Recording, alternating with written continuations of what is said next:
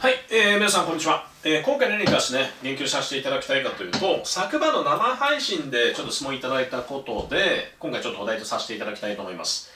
岡村隆史さんね岡村隆史さんがちょっと今炎上している件で、えー、これに関してどう思われますかということで、えー、言及させていただきたいと思います。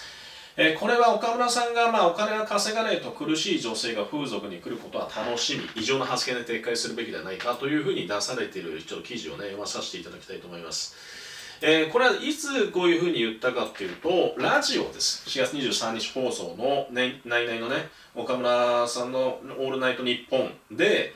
えー、その中で、まあね、えー、岡村さんが新型コロナ感染拡大風俗街を自粛していることを語ったとかっていうことです。まあ、風俗に通ってるっていうことを言ってるわけだけど、まあ別に、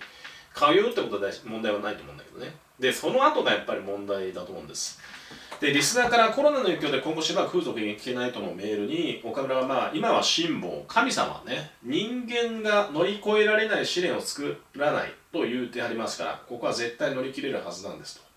で、コロナが収束したらば、もう絶対面白いことがあるんですというふうに希望を持っていたいということなんだけど、収束したらね、えー、なかなか可愛い人が短期間ですけれども、お嬢、ね、風俗嬢、えー、やりますと。えー、美風俗店に美女がね、入店する可能性が高いと持論を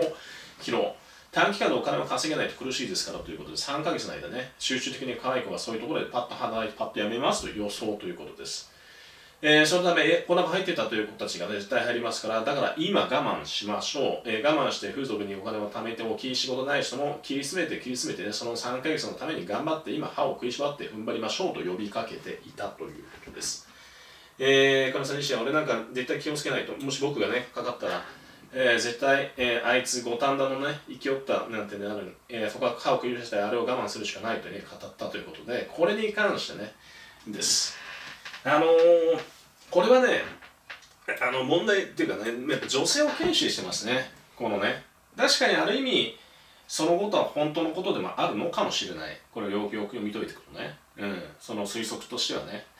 ただねこれやっぱりラジオでやっぱりあまり言ってはいけないこともあるしこの女性をあまりにも軽視してるというか、まあ、風俗嬢と可愛い子が来てということでそれを楽しみにしてそれを乗り越えるために頑張ろうみたいな感じで言うとかね、えー、少し大人としてね言うことではないと思うんですね、えーまあ、いわゆるこのチャンネルに関しては、まあ、お水商売系、風俗系の方もね、少なからず見てるとは思うんだけど、えー、自分はそういった方々に対して全くの偏見もないし、えー、その中でね、まあ、こういうちょっと言葉の選び方ってあると思うんだけど、